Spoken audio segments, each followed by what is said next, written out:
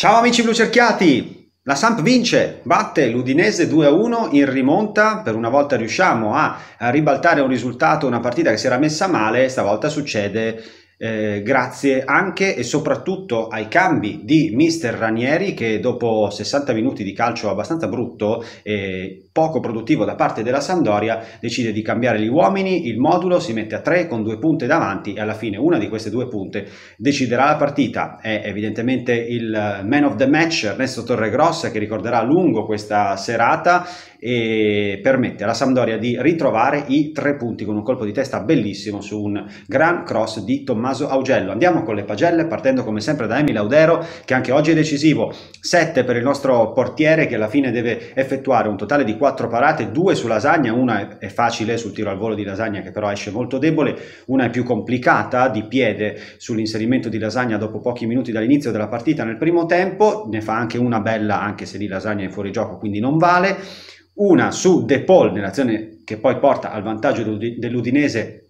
tra l'altro il tiro di De Paul che finisce in porta, anche quello Audero eh, da terra lo sporca un po' ma non riesce ad allontanarlo eh, dalla porta, da terra Audero realizza la parata più bella della serata e una delle più belle del suo campionato, cioè quella su Mandragora che da dentro l'area piccola sostanzialmente eh, è vero che un pochino lo eh, favorisce il tiro non esattamente irresistibile e potente dell'ex centrocampista del Genoa, però Audero da terra riesce a schiaffeggiare via questo pallone mantenendo la partita in equilibrio. Difesa che eh, ha sofferto un po', ma non secondo me per colpe individuali o di reparto della difesa. Abbiamo fatto più fatica a leggere a centrocampo eh, la partita, quindi per me è tutta sufficiente eh, anche a livello di singoli la prova dei difensori Partendo dal terzino destro Bartosz Berezinski, 6,5, una sola sbavatura secondo me nella sua partita e cioè nell'occasione, la prima dopo 4 minuti in cui Lasagna impegna di piede Audero, Berezinski si fa scappare Zeggelar in modo un po' troppo semplice alle spalle, poi si metterà terzo eh, a 3 nella difesa eh, dopo il cambio modulo da parte di Ranieri nel secondo tempo e secondo me quello è un ruolo che forse gli si addice addirittura di più perché è un giocatore che anche quando la Samp al pallone è discreto fino alla tre quarti quarti, poi non è di grande propulsione, appoggio offensivo da sovrapposizioni e cross, non è un uomo da grandi assist, da bonus del fantacalcio per intenderci. Comunque rimane solida la sua prova con entrambi i moduli, alla fine eh, sarà un dato interessante quello dei duelli vinti, 74% per il polacco tra offensivi e difensivi, la sua media in campionato è del 52%, quindi è stata una bella prestazione del terzino destro. Uh, Yoshida 6, uh, eh, tranquillo e sicuro, difensivamente secondo me non ha sofferto granché perché l'Udinese non l'ha molto sollecitato,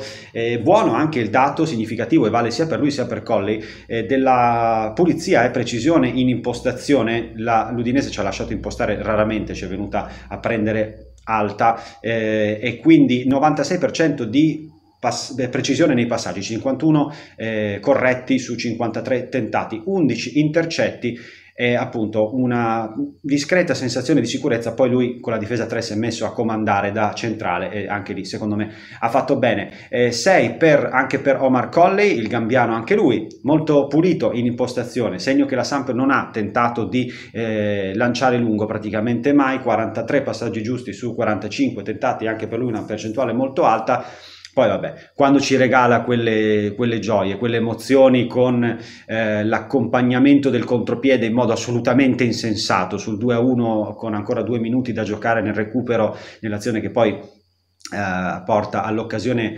per Keita che si fa parare il 3-1 da Musso, non so perché Colley gli prenda questa voglia di accompagnare in modo scriteriato i contropiedi, ma gli si vuole bene anche per questo. Chiudiamo la uh, difesa con Tommaso Augello che finalmente ci ripropone una prestazione eh, decisamente sufficiente, 6,5 per lui perché ovviamente scrive push sul pallone che crossa uh, per Torregrossa, citazione dell'attaccante neoacquisto della Samp che ha detto che il cross di Augello era molto bello, in realtà Torregrossa ci mette molto del suo perché eh, stacca più alto e più convinto di Zegelar che non è esattamente eh, un giocatore di bassa statura. Eh, per Augello è stata una partita appunto nel primo tempo un pochino difficoltosa, non precisissimo negli appoggi, ma soprattutto ha potuto respirare un po' difensivamente perché l'Udinese non gli ha messo un uomo a sollecitarlo continuamente con gli uno contro uno. Augello è rimasto solido, tra l'altro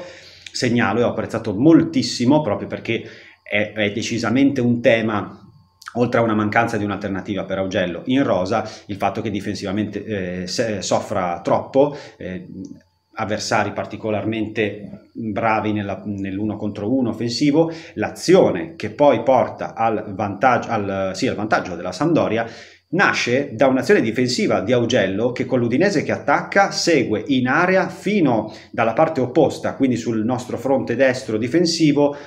eh, De Paul gli si attacca addosso, gli ruba il pallone e fa partire eh, l'azione di, di, contropiede. Forse non, non, è, non, succede esattamente lì il pareggio, ma succede poco prima e quindi l'ho apprezzato da lì. Poi il cross, sappiamo tutti che Augello è molto molto bravo a crossare. Passiamo al centrocampo. Antonio Candreva 6,5, il solito campionario di cose nel bagaglio dell'esterno classe 87, personalità, iniziativa, tanta confusione tattica. Ranieri dice a lui e Damsker nel primo tempo di stare larghi, lo fanno praticamente mai, tante palle perse, saranno 17, la media di, di, Candreva in campionato è 11, aveva fatto peggio soltanto contro la Lazio nella sua prima partita tito, da titolare a inizio campionato, che erano state 20 in quell'occasione, comunque tante belle idee per Antonio Candreva, tra cui l'unica occasione creata nel primo tempo, il tiro di Quagliarella nasce da un suo filtrante per l'attaccante eh, maglia 27 e poi ovviamente si guadagna rigore con tanta malizia, con tanta astuzia, mestiere, mette il piede prima che Mandragora eh, rinvii e quindi si eh, porta a casa questo rigore giusto, lo trasforma in un modo che ci fa tanto soffrire mentre il pallone viaggia verso la porta di Musso, poi ci fa tanto godere, quindi bravo Antonio Candreva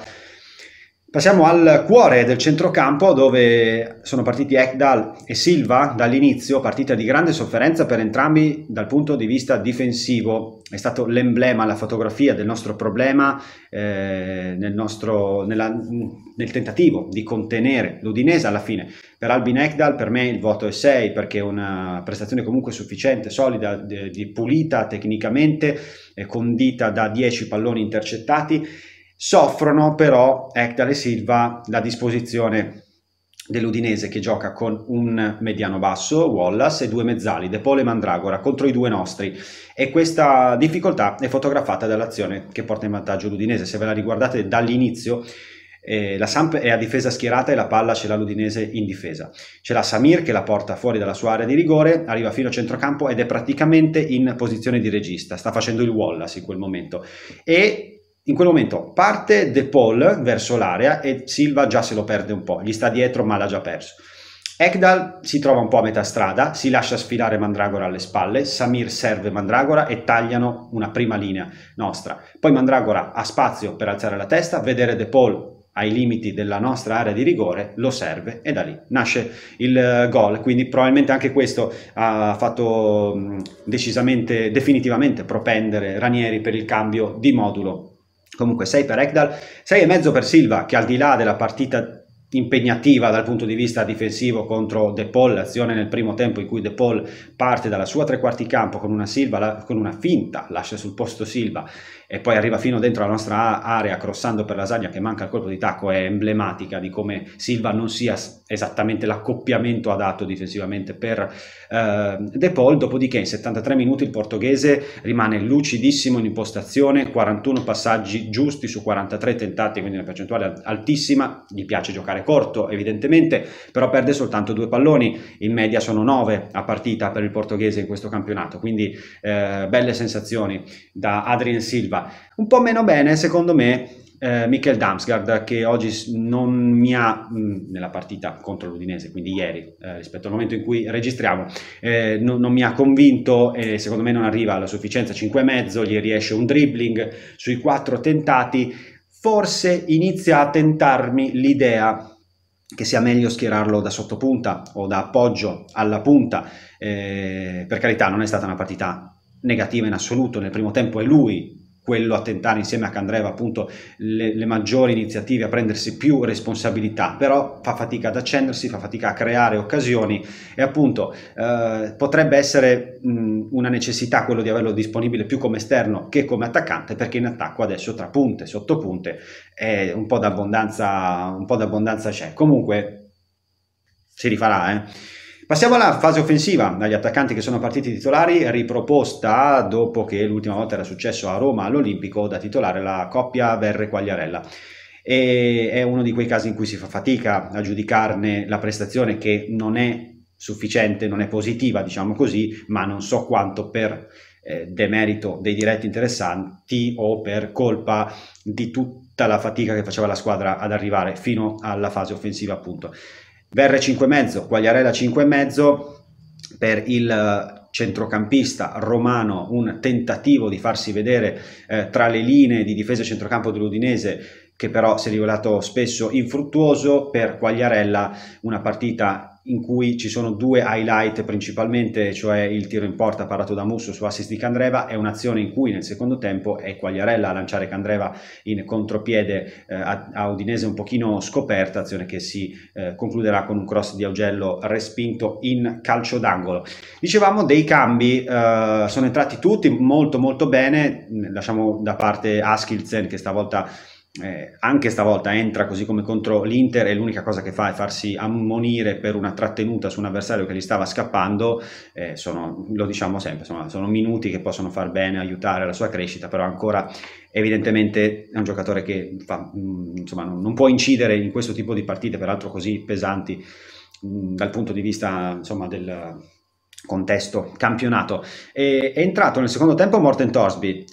E 6 per il centrocampista norvegese che parte per prendersi un po' di riposo dalla panchina dopo una delle sue prime prestazioni negative, quella contro lo Spezia di lunedì scorso, anche se comunque entra bene, mm, sostanzialmente confeziona insieme a Candreva l'azione del rigore restituendogli un pallone di testa da terra, insomma un'azione non propriamente pulita, dopodiché mm, quando l'ho visto su De Paul, eh, la Sampdoria si era messa con tre centrocampisti, quindi Torsby faceva la mezzala sinistra,